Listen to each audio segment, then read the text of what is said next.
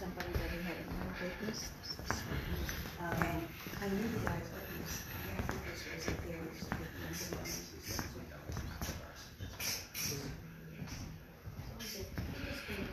I did forget my glasses. So.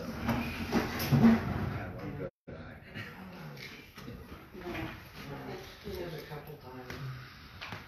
Yeah. That's good. Mine was three fifty rated.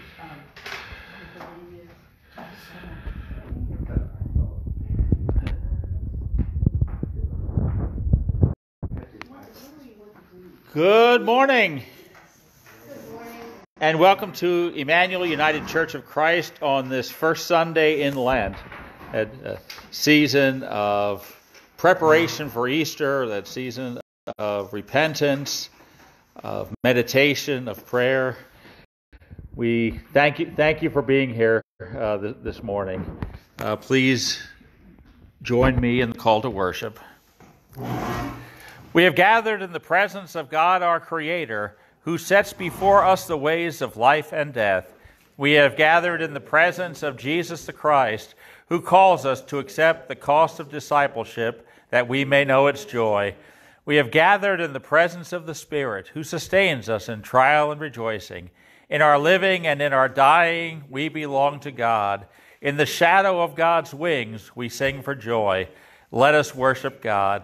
All of our hymns are in the red hymnal, the E&R hymnal. The, our first is number 143.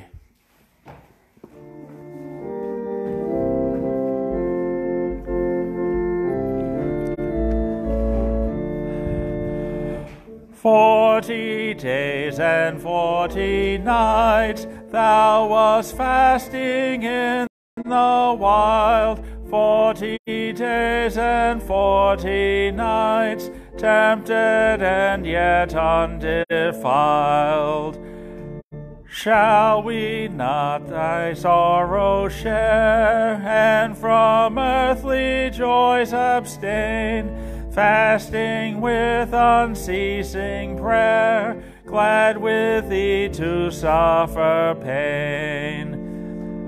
And with Satan vexing sore, flesh or spirit should assail, thou his vanquisher before, grant we may not faint nor fail. Keep, oh, keep us, Savior dear, ever constant by thy side, that with thee we may appear at the eternal Easter tide. Our service this morning, we will be using portions of the old evangelical and reformed preparatory service. Uh, back in the day, this was the service we used on the Sunday before communion. Uh, there's a uh, desire, uh, there was a need for uh, repentance, uh, for, for repentance and confession of sin and preparation for communion. Um, we've been using it once a year uh, on the first Sunday in Lent to, to put us in the mindset for, the, for, for the Lenten season. We we're on page uh, so we'll be flipping back and forth between this and the regular service. We're on page 14 in the front of the red hymnal the lord is in his holy temple. Let all the earth keep silence before him. Amen. God spake all these words saying i am the lord thy god who brought thee out of the land of egypt out of the house of bondage. Thou shalt have no other gods before me. Thou shalt not make unto thee any graven image or any likeness of anything that is in the heaven above, or that is in the earth beneath, or that is in the water under the earth. Thou shalt not bow down thyself to them, nor serve them. For I, the Lord thy God, am a jealous God, visiting the iniquity of the fathers upon the children unto the third and fourth generation of them that hate me, and showing mercy unto thousands of them that love me, and keep my commandments. Thou shalt not take the name of the Lord thy God in vain, for the Lord will not hold him guiltless that taketh his name in vain. Remember the Sabbath day to keep it holy. Six days shalt thou labor and do all thy work. But the seventh day is the Sabbath of the Lord thy God. In it thou shalt not do any work, nor thy son, nor thy daughter, thy manservant, nor thy maidservant, nor thy cattle, nor thy stranger that is within thy gates. For in six days the Lord made heaven and earth, the sea, and all that in them is, and rested the seventh day. Wherefore the Lord blessed the Sabbath day and hallowed it. Honor thy father and thy mother, that thy days may be long upon the land which the Lord thy God giveth thee. Thou shalt not kill. Thou shalt not commit adultery. Thou shalt not steal. Thou shalt not bear false witness against thy neighbor. Thou shalt not covet thy neighbor's house. Thou shalt not covet thy neighbor's wife, nor his manservant, nor his maidservant, nor his ox, nor his ass, nor anything that is thy neighbor's. Lord, have mercy upon us, and incline our hearts to keep all these laws. Hear also what the Lord Jesus Christ saith Thou shalt love the Lord thy God with all thy heart, and with all thy soul, and with all thy mind. This is the first and great commandment. And the second is like unto it Thou shalt love thy neighbor as thyself. On these two commandments hang all the law and the prophets. Let us pray. O Lord God, who didst at the first deliver thy commandments from the mount which burned with fire, amid blackness and darkness and tempest, we thank thee that this same law is now published unto us from Mount Zion through the mediator of a new and better covenant. And we humbly beseech thee to put these words into our minds and write them in our hearts, that we may delight in thy law after the inward man, and serve thee in newness of spirit, through Jesus Christ our Lord. Amen. Beloved in the Lord, let us draw near with a true heart and confess our sins unto God our Father, beseeching him in the name of our Lord Jesus Christ to grant his forgiveness. And we'll use the confession as printed in the bulletin. We confess, gracious God, that at times we reject your love for us. You lead us out of the land of slavery, yet when the journey is hard, we long to return to the comfort of our chains. Your prophets tell us how our rebellion hurts and angers you Yet we harden our hearts and close our ears. You come to us in Jesus, revealing your love for all people and suffering pain for us. Yet we do not turn in love, in obedience to you. Speak the word, O God, and we shall be made free. Forgive us, receive us, and give us courage to serve you with renewed hearts and wills through the grace of Jesus Christ. Amen. Lord, have mercy upon us. Lord, have mercy upon us. Christ, have mercy upon us. Christ, have mercy upon us. Lord, have mercy upon us.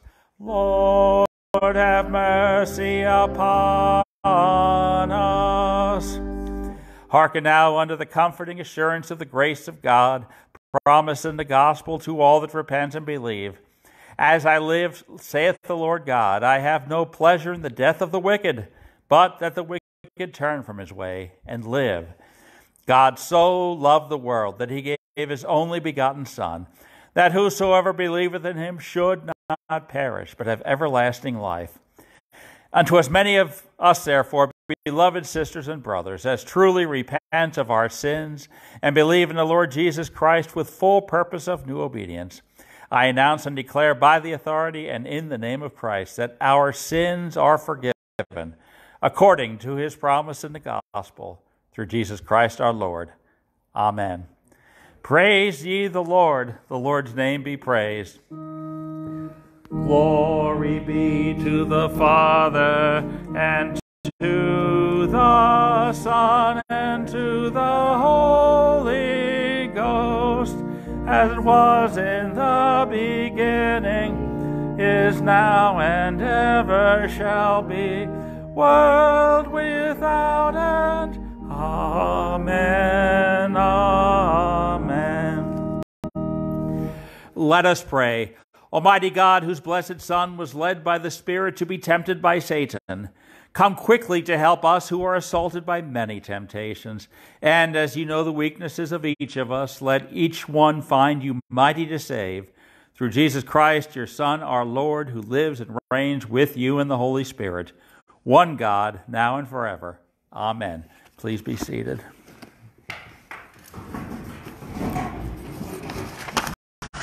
Our first scripture reading this morning is from the book of Genesis, the second chapter, verses 15 to 17, and then the third chapter, the first seven verses. The Lord God took the man and put him in the Garden of Eden to till and keep it.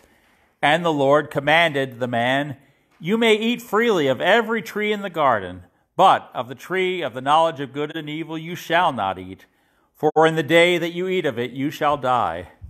Now the, serv- the serpent was more crafty than any other wild animal that the Lord God had made. He said to the woman, did God say, You shall not eat from any tree in the garden? The woman said to the serpent, We may eat of the fruit of the trees of the garden. But God said, You shall not eat of the fruit of the tree that is in the middle of the garden, nor shall you touch it, or you shall die. But the serpent said to the woman, You shall not die, for God knows that when you eat of it, your eyes will be opened, and you will be like God, knowing good and evil. So when the woman saw that the tree was good for food and that it was a delight to the eyes, and that the tree was to be desired to make one wise, she took of its fruit and ate, and she also gave some to her husband who was with her, and he ate. Then the eyes of both were opened, and they knew that they were naked, and they sewed fig leaves together and made loincloths for themselves. Our psalm this morning is Psalm 32, it's found in the bulletin insert. We will read responsively. Happy are those whose transgression is forgiven, whose sin is covered.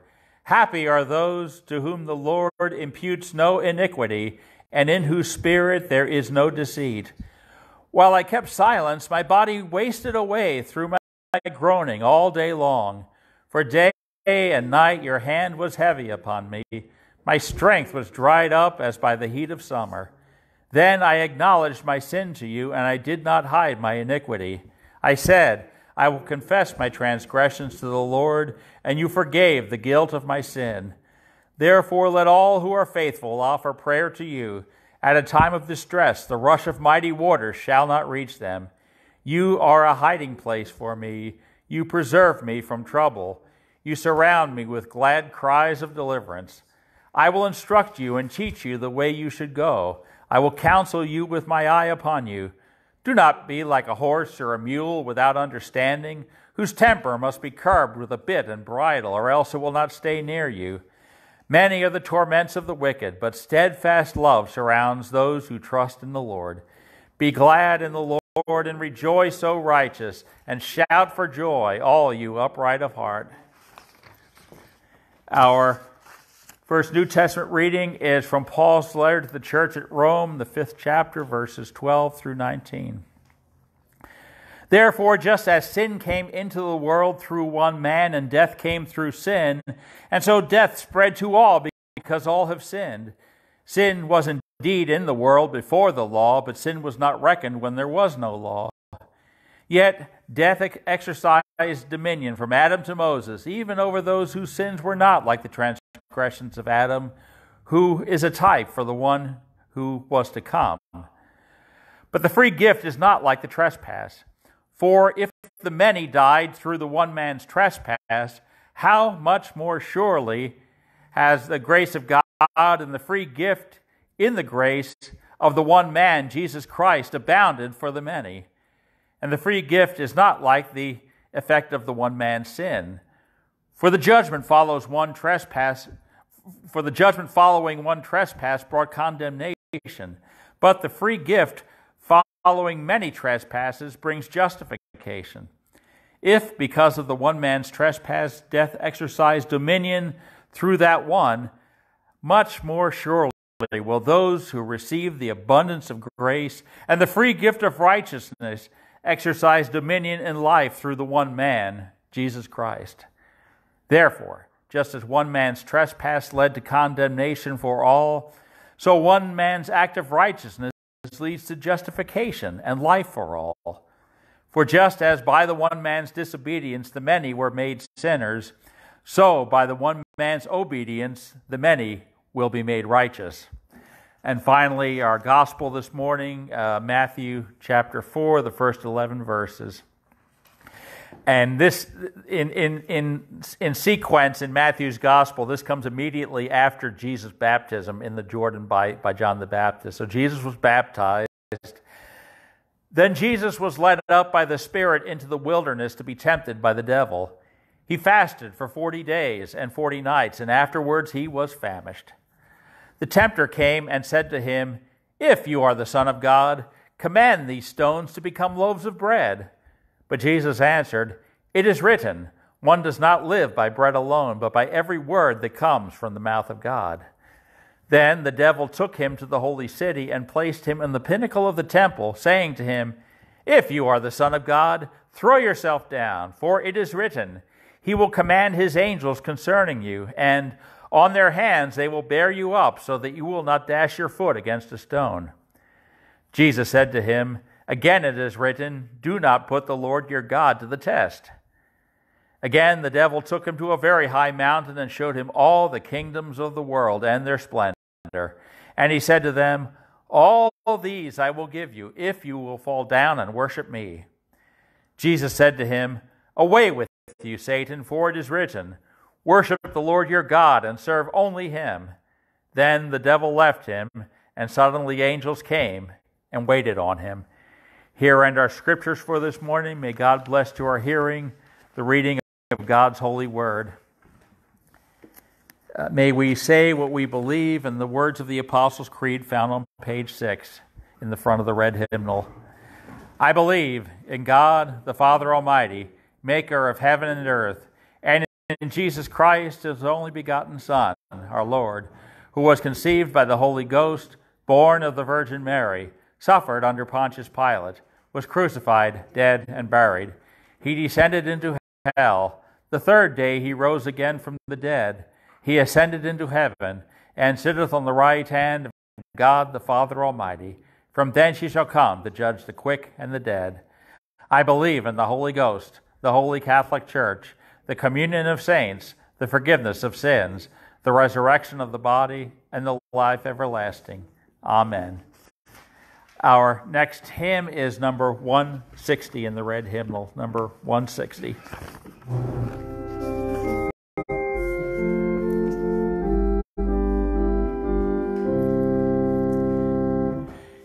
In the hour of trial, Jesus, plead for me, lest by base denial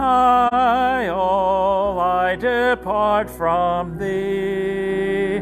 When thou seest me waver, with a look recall, nor for fear or favor suffer me to fall with forbidden pleasures would this vain world charm, or its sordid treasures spread to work me harm. Bring me my remembrance, sad Gethsemane, or in dark assemblance, cross crowned Calvary. Should thy mercy send me sorrow, toil, or woe, or should pain attend me on my path below, grant that I may never fail thy hand to see, and that I may ever cast my care on thee. We come to our time of prayer. We'll be turning to the litany on page 15 in the front of the red hymnal. But before we begin the litany, uh, we name our prayer requests. Of course, we want to keep in prayer and in, in, special prayer uh, Susan uh, Nowak. Uh, received some uh, very bad medical news this week. Uh, she, uh, she, she her liver has failed, and she, she's not, she's not expected to. she's not. She, they think she doesn't have much time left. So, please, I, I went to visit Susan on Friday. Um, she was in good spirits, very good spirits, all things considered. Uh, she's at peace. Her faith is sustaining her. Um, Susan's a real, a real uh, testament to to the uh, to the power of faith, uh, even even in the, the, the most difficult of times. So please, uh, we, we keep Susan in prayer. Also, there's a there's a card on the table. Um, would ask uh, everyone if you feel led to to sign it, uh, leave a, a, brief message for uh, for for Susan. Let her know. Let, let Susan know that her church is, is, is praying with her and standing with her even even in this, this most difficult of times. Um, want to continue to keep in prayer uh, Alan uh, for healing of his of his shoulder uh, and and, and uh, recover from cataract surgery. Um, Frank for his balance. His balance. Um, other requests. Uh, Helen. A friend in Las Vegas who's elderly and is going through some terrible times right now. He is hospitalized. She has leukemia. And she needs our prayers. And her name is? Zena Anchor. Zena Anchor. And she was concerned about offering up in a Protestant church because she's Jewish. God, God will hear our prayers, hers and ours. Other requests, Alan. My niece Dawn, uh, she had surgery, but they found more cancer in the lymph nodes, so she's going through chemo right now.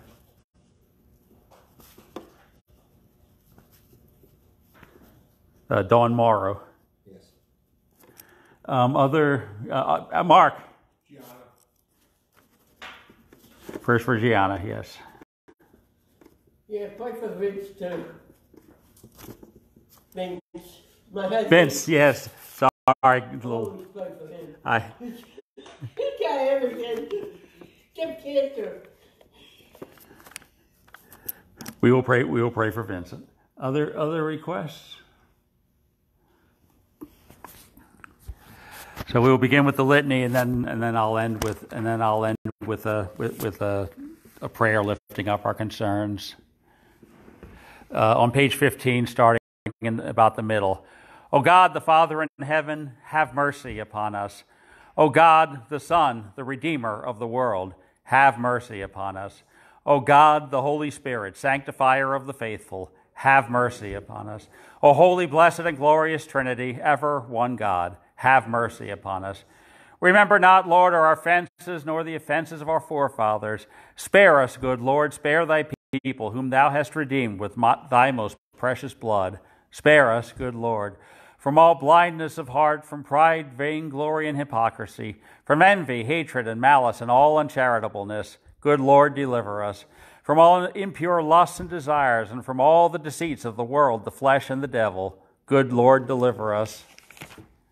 From lightning and tempest, from fire and flood, from plague, pestilence, and famine, from all disasters by land, by air, and by water, from battle and murder, and from violent death. Good Lord, deliver us. From sedition and rebellion, from heresy and schism, from hardness of heart and contempt of thy word and authority. Good Lord, deliver us.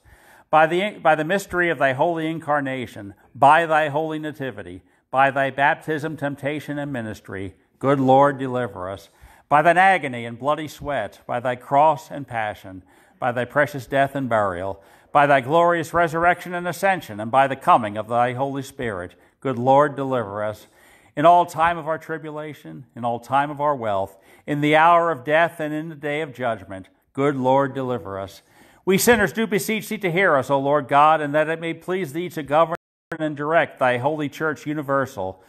We beseech thee to hear us, good Lord that it may please thee so to rule the hearts of thy servants, the President of the United States, the Governor of this Commonwealth, and all others in authority, that law and order may everywhere prevail.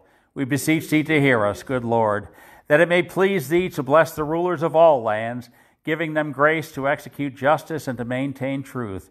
We beseech thee to hear us, good Lord, that it may please thee to bless and protect all who serve mankind by labor, industry, and learning we beseech thee to hear us, good Lord, that it may please thee to give to all nations unity, peace, and concord. We beseech thee to hear us, good Lord, that it may please thee to keep us in all time of temptation and heaviness, to comfort and help all the weak hearted, to raise up them that fall, and finally to beat down Satan under our feet. We beseech thee to hear us, good Lord, that it may please thee to, to succor, help, and comfort all who are in danger, necessity, and tribulation, to preserve all women in the perils of childbirth, all sick persons and young children, and to show thy pity upon all prisoners and captives.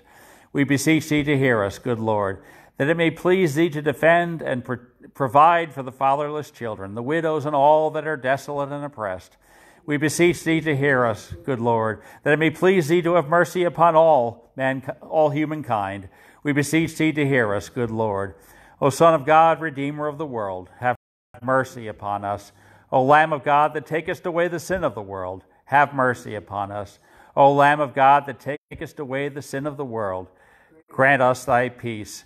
Lord, we pray for those whose names we have lifted up. Lord, we pray that you will be with our sister Susan in a special way during this very fragile time. We thank you for her lifelong faithfulness to you and to this congregation. We give you thanks for that her faith is sustaining her even, even in this fragile time. We pray for the doctors and nurses and all who are attending to her health and her needs. We pray for Susan's family. We pray for Dorothy and Nancy. Uh, we, we pray that you will be, that you will strengthen and support Dorothy and Nancy and all, and, and, and, and all, the, and all the members of Susan's family. Uh, we pray for continued healing for Alan's shoulder and, for, uh, and from cataract surgery. We pray for Frank that you may help him with his balance, that you would strengthen him and, and stabilize him and, and, and uphold him. We pray for Don, for Dawn uh, Morrow that you may walk beside her in this journey of, chem- of chemotherapy and, and treatment for cancer. We pray that you would lay your healing hand on her uh, for you are the great physician, and that you would be with all who are caring for her. We pray that you would be with Z- Zena Anchor, uh, diagnosed with leukemia. Just we pray that you would lay your healing hand on her, that you would surround Zena with your love, that she may that she may know and feel your presence in this fragile time. We pray also for Vincent. Uh, we pray that you would grant him strength of body, peace of mind, and joy of spirit. We pray that you would strengthen Vincent and, and, and grant him health and grant him peace. We pray for all who are going through time of transition, for the homeless, that you would provide for their needs and protect them, for the veterans, that you would heal the wounds of war. We pray for Gianna, for your, your guidance and support. Uh, be, be, be with Gianna, guide her steps, and guard her paths. We pray for Isaac and his family, and Dee and her family. We pray for all the churches in Bridesburg, especially those of the Bridesburg Council, as we seek to share your love and meet the needs of your people. And we pray for this congregation, Emanuel United Church of Christ. Sustain us, encourage us, enable us to be a sign of your presence. May all that we say and do here be to your glory. O God, merciful Father, who despises not the sighing of the contrite, nor rejectest the desires of the sorrowful, be favorable to our prayers, which in our afflictions that continually oppress us we pour out before thee, and graciously hear them, that those things which the craft of the devil or of man worketh against us may be brought to naught, and by the counsel of thy goodness be dispersed, so that being hurt by no persecutions, we may evermore give thanks to thee in thy holy church through Jesus Christ our Lord. Amen. O God, from whom all holy desires, all good counsels, and all just works do proceed, give unto thy servants that peace which the world cannot give, nor take away, that our hearts may be set to obey thy commandments, and also that we, being defended from the fear of our enemies, may by thy protection pass our ta- time in peace and quietness. Through Jesus Christ our Lord. Amen.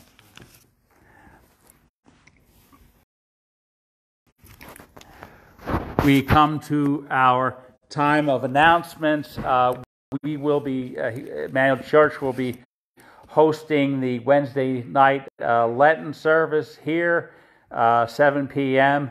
Um, at the at, at, Ash Wednesday, they had uh, they offered uh, they had offered co- coffee and dessert basically. So, if you know, if we could we, if we could if we could follow suit. Um, they'll, they'll be starting at six o'clock. That'll be starting at six, and then the service itself. Hmm? Steak dinner? Surf and turf, yeah. We'll,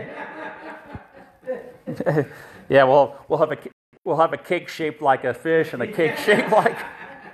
but uh, yeah, so uh, and then the service will start at will will start at seven. I have to say it was it was wonderful. To, we we were at uh, Bethesda. Uh, we, it's the, I think that's the first time we've celebrated Ash Wednesday at Bethesda yes, yes. in many many a long year. Uh, it was great to see the other pastors and congregations. Uh, we, you know, COVID precautions had kind of cramped our style, so it was it was it was good to be together uh, in one place. It, it truly was.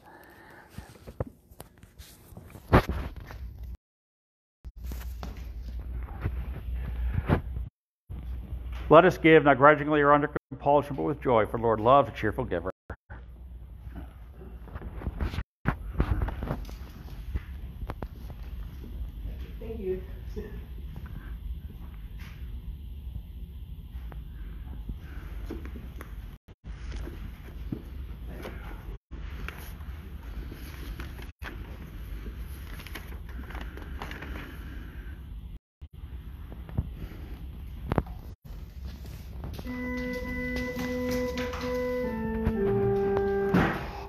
Things come of thee, O Lord, and of thine own have we given thee. Amen. Receive, Lord, these are tithes and offerings. We pray we would use them to spread your good news of salvation and to build your kingdom on earth. This we ask in the name of your Son, our Lord and Savior, Jesus Christ. Amen. Uh, one other announcement I forgot: there are still Lenten devotional booklets on the on the back table, uh, where in front of Johnny. If any if anybody wants to, to take one. Our next hymn, number 158 in the red hymnal, "When I Survey the Wondrous Cross," 158.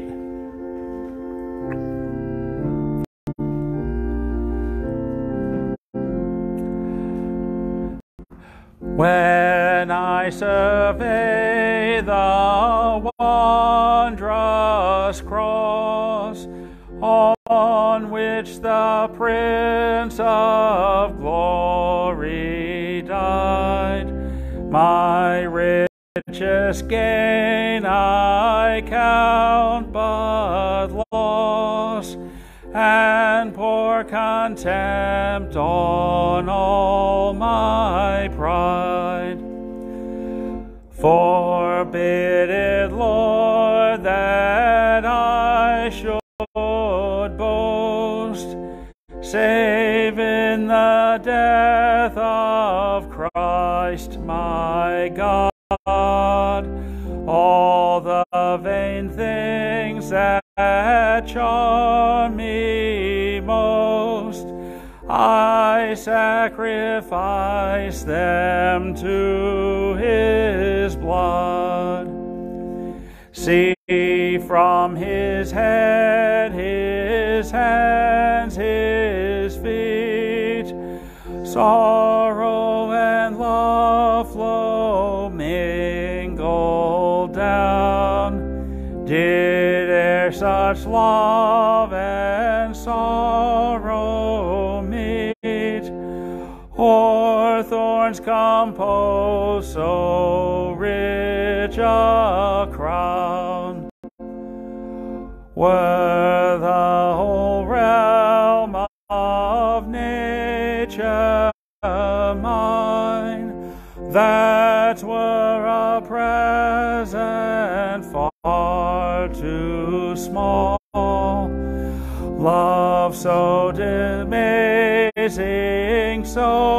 divine, demands my soul, my life, my all. And let us pray. May the words of my mouth and the meditation of our hearts be acceptable in your sight, O Lord, for you are our strength and our rock and our Redeemer. Amen.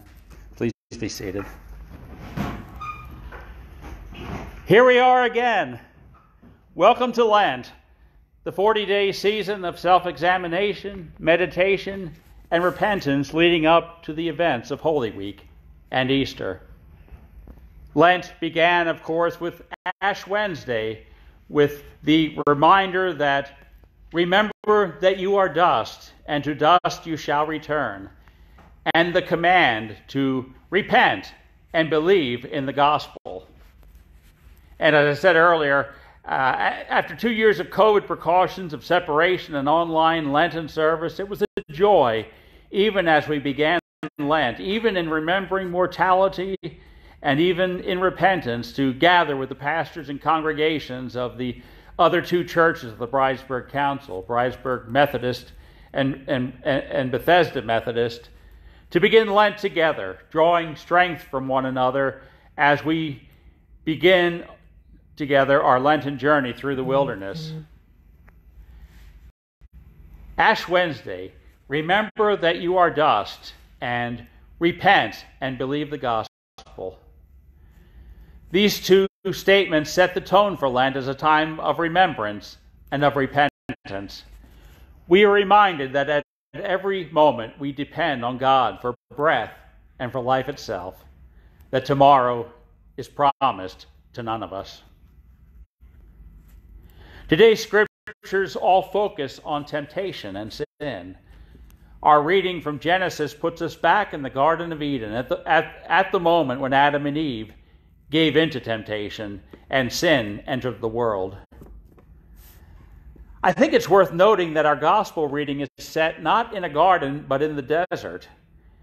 After Adam and Eve had sinned, among other things, God told them that because of their actions, the ground itself was cursed.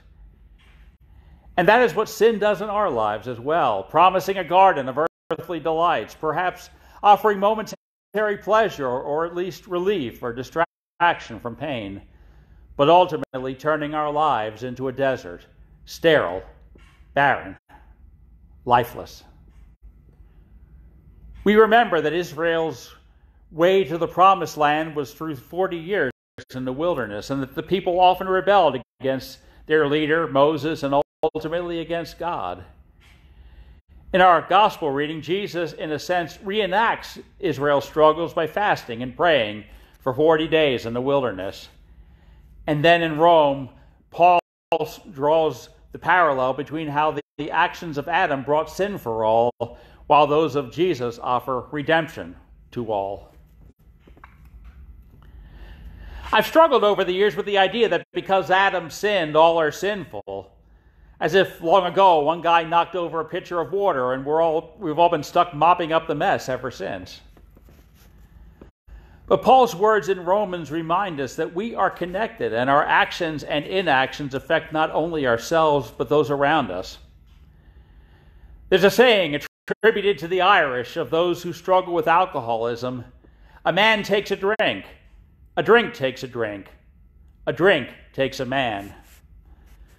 Just as individual sinful acts harden over time into habits and addictions in our lives, the cumulative effect of the individual sins of all humanity has hardened over centuries and millennia into systems of violence and injustice. Sin is therefore both individual and societal. It is both a me thing and a we thing. But in the same way, as Christians, we believe that the life and ministry, death, and resurrection of Jesus Christ bring a new beginning, not miraculously and in an instant putting us back in, into the Garden of Eden, but allowing God slowly to undo sin's damage in our individual lives, but also in society. And even allowing us a small part, allowing each of us a small part in that work of restoration. And so Lent reminds us that we are small parts of, the lar- of this larger story, the great story of sin and restoration. and asks us to look at our lives, whether our words and actions are adding to the world's accumulation of pain and misery, or whether they lighten the load for ourselves and those around us. In, our, in, the, in the gospel, we look at Jesus' temptation in the wilderness. We may well wonder why he went there in the first place. In the sequence of Matthew's gospel, Jesus' temptation in the wilderness, as I said, comes immediately after his baptism by John the Baptist. When Jesus, as he was coming up out of the water, saw the Spirit come down like a dove and heard these words from heaven You are my Son, the beloved. With you I am well pleased. In the wilderness, Jesus struggled with the question of what that meant and of how to respond to God's gracious words. As God's Son, the beloved, what sort of life was he to live? What sort of ministry was he to accomplish? As he was pondering, as Jesus was pondering in the wilderness, we're told that Jesus was that we're told that Satan was right on was right there to offer false choices. Jesus' temptations may seem a bit exotic to us to turn stones into bread for himself, to throw himself off the top of the, of the Jerusalem temple so that God might catch him, to gain world domination at the price of his soul. But each of these would have twisted and distorted Jesus' ministry into something destructive, to make his ministry about meeting his own needs, or about showmanship and flashy but ultimately meaningless displays of power, or as a cause of oppression even with the best of intentions. And we, we all know from history that, uh, as the saying goes, the road to hell is paved with good intentions. We know that some of the worst crimes of humanity were committed by people with good intentions. It's notable that in each case, Jesus was tempted to take something that was good, that was in itself good food, faith, God's creation, and turn it into something harmful, something ugly. Jesus had a choice to reject, to accept or reject the option Satan offered, and at each turn, Jesus rejected temptation. In each case, turning to Scripture as a defense against temptation. Lent reminds us that we also face choices, whether and how we observe Lent, and more broadly, how we live life. Um, each of us each of us in our own way face different versions of these temptations whether to act in self in self-serving ways, uh, to uh, act out our to act out um, harmful or destructive actions under the heading of faith, uh, or or to dominate those around us. So even though Jesus' temptations in, in their specific, specificity, as I said, seem exotic, uh, we we all face different versions of these. Traditionally, Christians have given up something for Lent, chocolate or some other favorite food perhaps. Giving up meat for Lent is a, is a classic Lenten observance. Such fasting may remind us of Jesus' 40 day fast in the wilderness and may strengthen our faith. However, if we turn giving, giving up something for Lent into, into a cause for feeling self righteous, uh, we're, fe- we're defeating our purpose. There are many kinds of fasting. For example, my I, I, I, go to my I go to my cardiologist every six months, and you know, right on right on cue, my you know, after he after he uh, gives me my EKG, uh, he uh, pu- pushes me toward intermittent fasting. Intermittent fasting, pushing my consumption of food into a defined eight-hour per- period of time each day, and going without food the rest of the day, as a means of losing weight. As if. In the 58th chapter of Isaiah, the prophet criticizes the leaders and people for giving up food while holding on to destructive actions. The prophet gives examples of their sin, oppression of workers, and violence, and then tells them, Is this not the kind of fasting I have chosen to loose the chains of injustice and untie the cords of the yoke, to set the oppressed free and to break every yoke? Is it not to share your food with the hungry and to provide the poor wanderer with shelter? When you see the naked, to clothe them, and not to turn away from your own flesh and blood. Then your light will break forth like the dawn, and your healing will quickly appear. Then your righteousness will go before you, and the glory of the Lord will be your rear guard. Then you will call, and the Lord will answer. You will cry for help, and he will say, Here am I. In a similar spirit, in words attributed to not St. Francis, but Pope Francis, fast from hurting words and say kind words. Fast from sadness and be filled with gratitude. Fast from anger and be filled with patience. Fast from pessimism and be filled with hope. Fast from worries and have trust in God. Fast from complaints and contemplate simplicity. Fast from pressures and be prayerful. Fast from bitterness and fill your hearts with joy. Fast from selfishness and be compassionate to others. Fast from grudges and be reconciled. Fast from words and be silent so you can listen.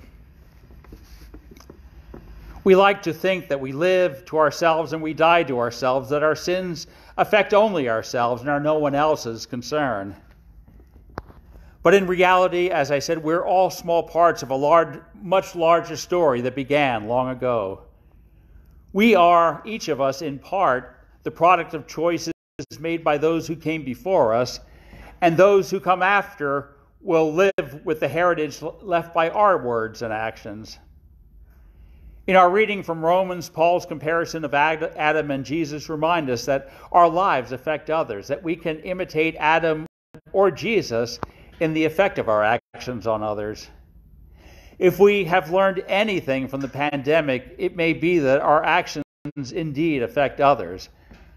Just as our choices to show up sick or stay home, to protect ourselves from the virus or not, either protected or exposed to the virus those around us, all of our choices affect others as well. Our words, our actions can inspire love or incite hatred, can elevate or degrade those around us. And like Jesus in the wilderness, when we are tempted, we can turn to the words of God in Scripture and turn to God in prayer, relying in our time of weakness on God's strength. Most of all, we can remember God's great love for us in sending Jesus amid humankind's long story of sin and by his death and resurrection, writing a new and hopeful ending. In our time of testing, may we look to Jesus, the pioneer and perfecter of our faith, who for the joy that was waiting endured the cross, disregarding its shame, and sat down at the right hand of the throne of God. Amen.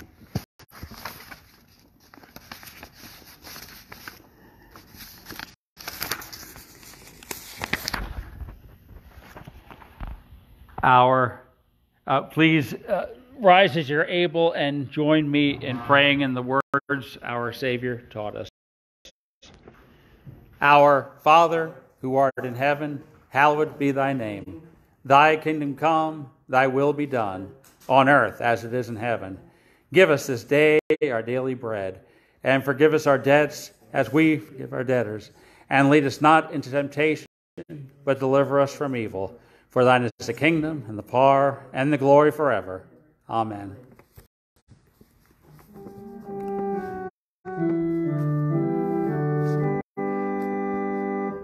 Praise God from whom all blessings flow.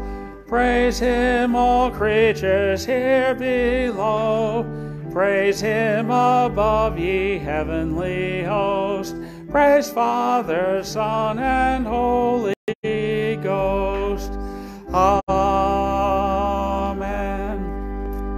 Go forth in this place to love and serve the Lord. Go forth in this place in peace to love and serve all to whom God calls us in service.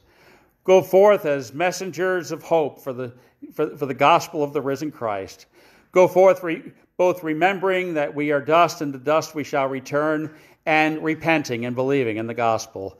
And as we go forth, may the grace of our Lord Jesus Christ, the love of God, the communion of the Holy Spirit be with us and go with us each one now and evermore. Amen.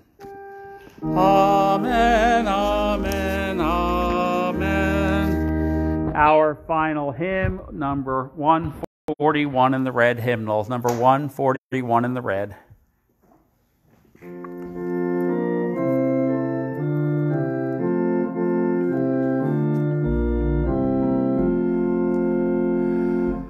Lord, who throughout the these forty days for us did fast and pray, teach us with thee to mourn our sins and close by thee to stay.